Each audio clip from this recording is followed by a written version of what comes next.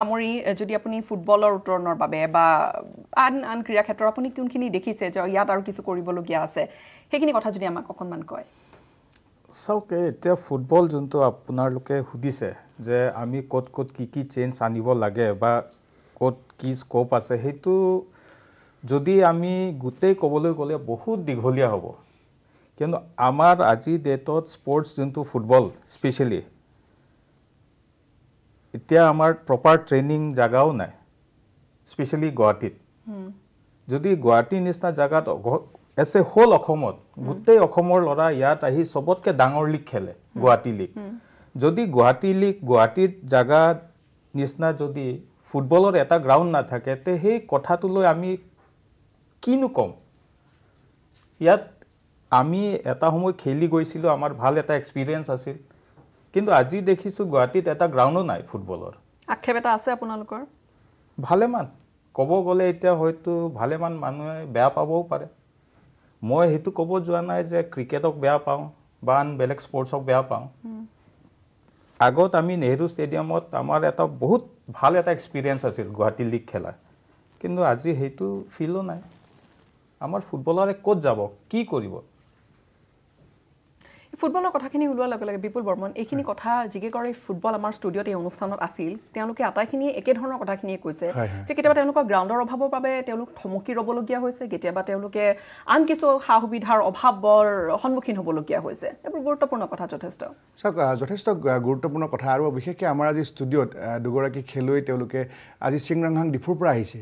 আমাৰ টকশ্ব'ৰ কাৰণে আহিছে আৰু কৃষ্ণ বৰপেটাৰ পৰা আহিছে। আমি দুয়োজন খেলুৱৈক খুব ভাল পাইছোঁ ইয়াত পাই। কিন্তু চিংৰংহাং তেখেতে যিটো কথা ক'লে সঁচাকৈ গুৰুত্বপূৰ্ণ। ইয়াৰ আগতে দুৰ্গা বড়ো সেই কথাখিনি কৈছিলে আমাৰ ইয়ালৈ আহোঁতে। আজি গুৱাহাটী মহানগৰীত যিখিনি গাঁও গ্ৰাউণ্ড আছে আজি আজি বৰুৱা ডাঙৰীয়াই ইয়াত বৰদলৈ ট্ৰফি অনুষ্ঠিত কৰিছিলে নেহেৰু ষ্টেডিয়ামত। আমি ক্ৰিকেট ভাল পাওঁ কিন্তু আজি নেহেৰু ষ্টেডিয়ামখন নাই আজি ফুটবলৰ কাৰণে। আজি জজ ফিল্ডত ফুটবল খেলিব নোৱাৰে ৰেলৰ ফিল্ডত এতিয়াও ক্ৰিকেট চলি আছে। কৃষ্ণ দাসে জানে আজি দিছপুৰ পেৰেড গ্ৰাউণ্ডত আমি ফুটবল খেলিব নোৱাৰোঁ। আজি লতাশিলত খেলিব নোৱাৰোঁ চানমাৰীত খেলিব নোৱাৰোঁ। তো চিংৰংহাং ডাঙৰীয়াই যিটো কথা ক'লে ত্ৰিছটা ক্লাব আছে খেলিব ক'ত? গ্ৰাউণ্ড ক'ত আছে? প্ৰেক্টিছ কৰিবলৈ। ঠিক আছে আহিম বাকীখিনি কথা লৈও। কিন্তু কৃষ্ণ দাস বৰপেটা এক্সপ্ৰেছ ৰূপে আমি জানো আপোনাক। অকণমান অভিজ্ঞতাৰে যদি আৰম্ভ কৰে বহু ঠাইত আপুনি খেলিছে। উঠি অহা সাধাৰণতে আপোনালোক হয়তো এটা প্ৰশ্নৰ সন্মুখীন হয় যে ছিনিয়ৰ টীমত আমি ক্ৰিকেটাৰ কিয় নাপাওঁ? অসমৰ পৰা বা উত্তৰ পূৰ্বাঞ্চলৰ পৰা। সততে হয়তো আপোনালোকে এই প্ৰশ্নটোৰ সন্মুখীন হয় ময়ো কৰিছোঁ। চ' এতিয়া আমাৰতো আগৰ তুলনাত বহুতখিনি ভাল আমাৰ পাৰফৰ্মেঞ্চ দি আছে ল'ৰাবিলাকে বা অসমত এটলিষ্ট আগতে আমি চাবলৈ গ'লে দুখন বা তিনিখন গ্ৰাউণ্ডে আছিলে। কিন্তু এতিয়া আমাৰ অসম চৰকাৰ তথা আপোনাৰ দেৱজিৎ লন শইকীয়া ছাৰে যোনটো পদক্ষেপ লৈছে লাষ্ট থ্ৰী ইয়াৰ্ছত মানে বহুতখিনি জেগাত মানে ভাল ষ্টেডিয়াম বা ক্ৰিকেট ষ্টেডিয়াম বনোৱাৰ কাৰণে মানে এটা মানে প্ৰজেক্ট লৈছে আৰু বহুখিনি কাম তাত হৈছে। তো এতিয়া মানে লাহে লাহে ল'ৰাবিলাক ওলাই আছে। ছাপ'জ আগতে আপুনি চিমি খেলিছিলে মাজতে মই ইণ্ডিয়া আণ্ডাৰ নাইনটিন খেলিলোঁ ইণ্ডিয়াই খেলিলোঁ এতিয়া ৰিয়ানে আই পি এল খেলি আছে বা at least under nineteen winning টীমত সি আছিলে। চ' এতিয়া আগৰ তুলনাত লাষ্ট থ্ৰী ইয়াৰ্ছ মানে ভালেখিনি আপোনাৰ ক্ৰিকেটত আগুৱাই আছে। কেতিয়ালৈকে দেখা পাম আমি ছিনিয়ৰ টীমত চ' এতিয়া চবেই ধৰক নিজৰ প্ৰচেছটো চলাই আছে বা ময়ো চলাই আছোঁ। ত' এটলিষ্ট ৰিয়ানো এতিয়া আণ্ডাৰ নাইনটিন বা আই পি এল খেলি আছে। ত' এটলিষ্ট বহুত সোনকালে মানে দেখিব পাব যে অসমৰ ল'ৰা এটা নেশ্যনেল টীমত মানে প্ৰতিনিধিত্ব কৰিব। আমি যথেষ্ট আশাবাদী। ক্ৰীড়ামন্ত্ৰী ডাঙৰীয়া আমাৰ সৈতে এই মুহূৰ্তত সংযুক্ত হৈছে। বিমল বৰা ডাঙৰীয়া স্বাগতম জনাইছোঁ আপোনাক। চাওক গোটেইখিনি খেলুৱৈ বা যিসকল স্পৰ্টছ পাৰ্চনেলিটি আমাৰ ইয়াতে আছে ষ্টুডিঅ'ত সকলোৱে কিছু কিছু কথা চুই গৈছে। এতিয়া চৰকাৰৰ ফালৰ বহুখিনি থাকে। বিশেষকৈ আপোনালোকে এটা সংকল্প লৈছে ক্ৰীড়াৰ ৰাজধানী কৰাৰ এটা সপোন আপোনালোকে দেখিছে। বাস্তৱায়িত কি ধৰণে কৰিব?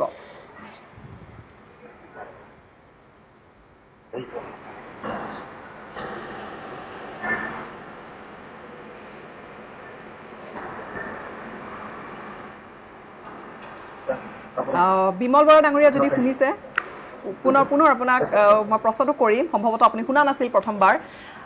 চাওক এতিয়া আপোনালোকে ক্ৰীড়া ৰাজধানী কৰাৰ বাবে আপোনালোকে এটা প্ৰকল্প এটা এটা প্ৰজেক্ট লৈছে বা এক আপোনালোকে সপোন দেখিছে। এই সপোন বাস্তৱায়িত কি ধৰণে কৰিম বুলি ভাবিছে?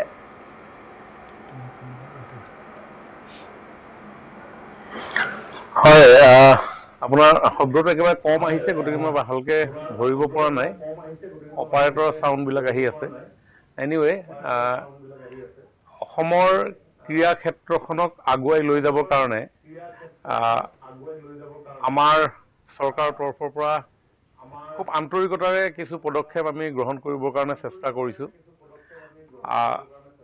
মাননীয় প্ৰধানমন্ত্ৰী নৰেন্দ্ৰ মোদী ডাঙৰীয়াইও আগন্তুক অলিম্পিকৰ কাৰণে সমগ্ৰ দেশক প্ৰস্তুত কৰিবৰ কাৰণে তেখেতে বিভিন্ন ধৰণৰ উদ্যোগ গ্ৰহণ কৰিছে। আৰু আমিও অসমৰ যি প্ৰতিভাৱান খেলুৱৈসকল আছে আৰু ভৱিষ্যতৰ দিনত আমাৰ এই খেলুৱৈসকলক যাতে চৰকাৰৰ তৰফৰ পৰা অত্যাধুনিক সা সুবিধাৰে তেওঁলোকৰ অনুশীলনৰ পৰা আৰম্ভ কৰি যিকোনো ৰাষ্ট্ৰীয় আন্তঃৰাষ্ট্ৰীয় পৰ্যায়ত তেওঁলোকে বিভিন্ন ধৰণৰ ইভেণ্টত অংশগ্ৰহণ কৰিব পৰাকৈ আমাৰ যদিও বা কিছু ইনফ্ৰাষ্ট্ৰাকচাৰ আমাৰ হাতত আছে কিন্তু আৰু অধিক ইনফ্ৰাষ্ট্ৰাকচাৰ নিৰ্মাণ কৰাৰ ক্ষেত্ৰত আমাৰ চৰকাৰে ইতিমধ্যেই উদ্যোগ গ্ৰহণ কৰিছে।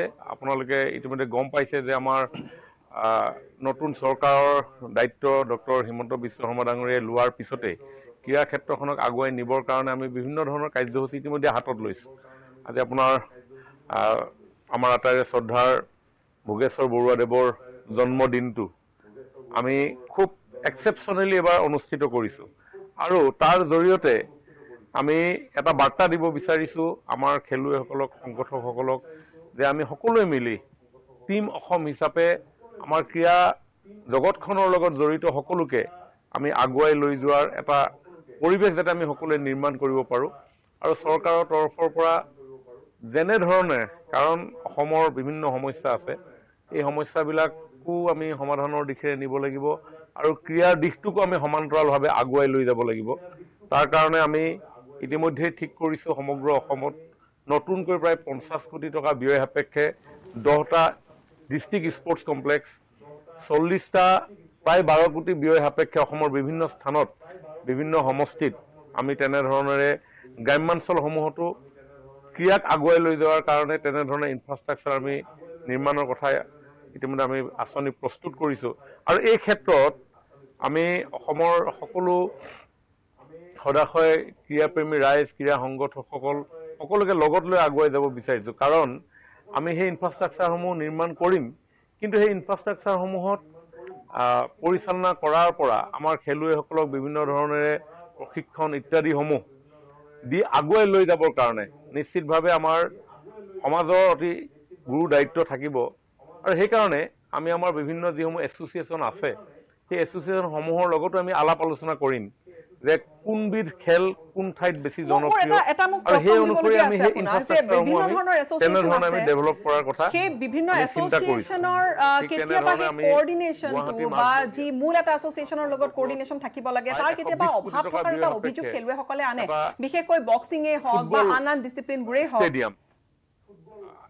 ষ্টেট অফ আৰ্ট তেনেধৰণৰ এটা চিন্তাৰে আমি কৰিবৰ কাৰণে ইতিমধ্যে আমাৰ অনুমোদনেই হৈছে। গতিকে এনেধৰণে আমি ইনফ্ৰাষ্ট্ৰাকচাৰৰ দিশটো আগুৱাই লৈ যাব বিচাৰিছোঁ। আৰু অন্যহাতে আমাৰ বিভিন্ন ধৰণৰ যি শাৰীৰিক নিৰ্দেশকৰ বহু পোষ্ট খালী হৈ আছে সেই পোষ্টসমূহো আমি অতি সোনকালে ৰিক্ৰুইটমেণ্ট কৰিবৰ কাৰণেও আমি উদ্যোগ গ্ৰহণ কৰিছোঁ। আৰু ভৱিষ্যতৰ দিনত সেই শাৰীৰিক নিৰ্দেশকসকলক আমি ক্লাষ্টাৰ বেচিছত অঞ্চল বিশেষে যাতে বিদ্যালয়সমূহৰ ছাত্ৰ ছাত্ৰী আৰু সেই পেৰিফেৰীত বসবাস কৰা লোকসকলক লৈ যাতে ক্ৰীড়া ক্ষেত্ৰখনৰ লগত চৰকাৰী এজন বিষয়া সম্পৃক্ত হৈ থাকে তেনেধৰণৰ চিন্তাও আমাৰ আছে। আৰু অন্যহাতে আপোনালোকেতো গম পায় খুব খুব যে খুব অসমৰ আদৰণীয় প- আহ, এটা স্পৰ্টছ পদক্ষেপ পলিচি যদি বহুত যিখিনি দিনৰ কথা পৰা আপুনি কৈছে যে সকলো ৰাইজে আন্তঃৰাষ্ট্ৰীয় বিচাৰি মানৰ এখন আছিল। ফুটবল সেই ষ্টেডিয়াম কাম আৰু আমাৰ লগতে, চৰকাৰে শাৰীৰিক শিক্ষাৰ কথাটো ইতিমধ্যে খুব গুৰুত্বপূৰ্ণ প্ৰস্তুত কথা। কৰি কৈছে। তুলিছে Physical আৰু education তাতে বুলি যাক আমি কওঁ। বিভিন্ন আহ, ধৰণৰ মই পুনৰ আপোনাৰ ওচৰলৈ আহিম এটা সময় বাণিজ্যিক বিৰতিৰ সময় হৈছে এটা বিৰতি ল'ম। বিৰতিৰ পিছত পুনৰ উভতিম আলোচনা অব্যাহত ৰাখিম। ব্যৱহাৰ কৰোঁ। আটাইতকৈ সবল আৰু সতেজ চিমেণ্ট। চুৰিয়া চিমেণ্ট চুৰিয়া চিমেণ্ট অটুট ঘৰ অটুট অসম